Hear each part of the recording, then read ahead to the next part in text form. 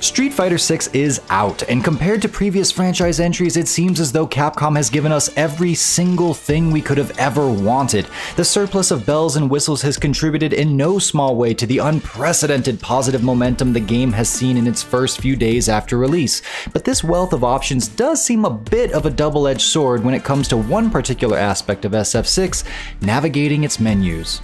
Load up the game and you're immediately greeted by three menus. Pick one of those and you can get five more drop down menus, but press R and you'll get this battle settings menu that has four more menus in it. But I'm not done yet! Press tab and you'll get the multi menu, which has another 12 options to select from. Yes, it's menuception. So this can definitely feel overwhelming when you just want to figure out how to get to your friends list or change up your controls or maybe enter into a casual room to make good on an invite from a buddy. We'll run you through some of the most basic and necessary processes in the SF6 menu so you don't have to spend tons of time trying to figure out where they are. Timestamps in the description below if you'd like to jump around, and if you find this video helpful or entertaining, please give it a like and our channel a subscribe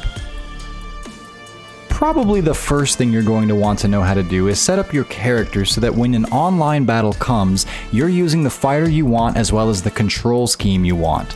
This is all done via the battle settings menu, and you can get here whether you're in Fighting Ground or in a Battle Hub server.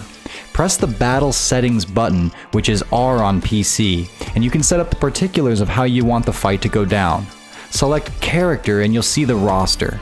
Everyone starts on modern controls and the standard button preset, but you can change that on a per character basis. Hover over the character of choice and press the Update Character Settings button, which is T on PC. Now you can choose how your character will look when you fight online, as well as the control settings. Note that you can apply control type to all characters if you want to quickly change everyone to classic. Now, when you're ready to enter into an online ranked or casual match, which you can also turn on the search for in the battle settings menu, it'll be with the correct character and controls. There are just a few other options you might want to manipulate before diving into battle. If you click the Other tab, you can choose which stage you prefer to fight on when you go online. If you'd like to have all stages in the mix, you can click T if you're on PC or whatever button pops up here on your console and have them all selected. You can also choose whether you want random background music, the character that you're playing's, your opponent characters, or the stage theme. You can turn commentary on or off, and you can choose which side you'd prefer to be on, but you won't always necessarily get this depending on what your opponent's preferences are. Finally, you can go over to Fighter Profile and change things like your background, the comments that your character will display when you're duking it out, and your avatar pose. None of this really affects the direct battle, but it's very important for intimidation factor. Next up, if you have friends, you'll want to connect with them in the game so you can easily contact and meet up to duke it out with them whenever you're both online. There are two ways to get to the Friends menu where you can send or accept requests. The most standard way is to pull up your multi-menu whether you're in Fighting Ground or a Battle Hub server. Select CFN and then Players. Here you'll see the status of any friends you've made, but if you're looking to make new ones, head over to the Search tab. You can try applying a bunch of filters to whittle things down, but you're most likely going to want to look using your buddy's name, which you can do by going to the keyword search and simply typing in their moniker. Any friend request sent will appear under the Request tab, and if anyone sends you a request, this is where you'll go to accept it. There's also a shortcut from the main menu here that you can use to bypass going through that multi-menu and CFN menu step and go straight to your players list. You'll see the shortcut button right here and pressing it takes you right to where we were. Okay, so hypothetically, you've got some friends and they're online and they send you an invite to join their custom room. You get a little notification saying the invite has been sent, but you still have to find your way to accept it and actually enter the room. You can get there from either Fighting Ground or Battle Hub, but the process is a tad different for each. If you're in Fighting Ground, simply head all the way to the right to the Online tab, and three spots down you'll find the Custom Room option. Use that menu to open up the next menu, where you can either search for your friend's room or view the invitation they sent you and zip right in. If you're in Battle Hub, you can quickly access the same area by opening up the multi-menu as you'll find that the custom room option, which is normally grayed out, is actually accessible here.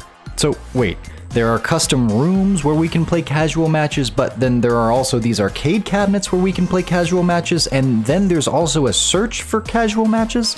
Yes, Playing custom matches using the arcade cabinets in Battle Hub is a much more public experience where other users can get in on the action simply by getting in line at your station.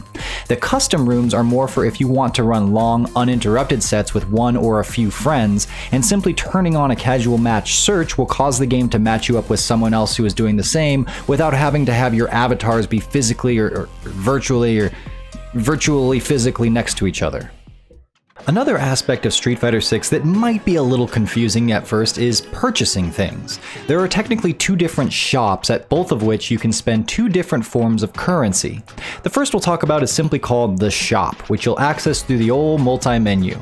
Here you can spend drive tickets or fighter coins on secondary costumes, additional colors for your character's standard costume, stickers for your heads-up display, and emotes for your avatar. You obtain fighter coins by purchasing them with real money, and they're offered in bundles ranging from 250 for 5 bucks all the way up to 2750 for 50 bucks plus tax. Unless of course you're in a cool state like Nevada or Montana that doesn't charge sales tax. You get drive tickets by purchasing the deluxe or ultimate editions of the game, as well as by completing some of the revolving challenges that get updated every so often. If you're planning on grinding drive tickets via challenges, just know it looks like it's going to take months to get anywhere. Next is the Hub Goods Shop, which you'll find in the Battle Hub, though there is also an option for it in the shop menu that we just talked about. This shop is entirely devoted to decking out your Battle Hub avatar. If you want purple socks or a weird crown or glasses so that everyone knows your avatar is smart, this is where you'll get all that. These items aren't just for the visual aesthetic either, as different accessories can give different buffs to your avatar should you choose to want to take it directly into battle. You can do that by heading to the very center of any Battle Hub server and following the prompts to engage with the others who are also in the area.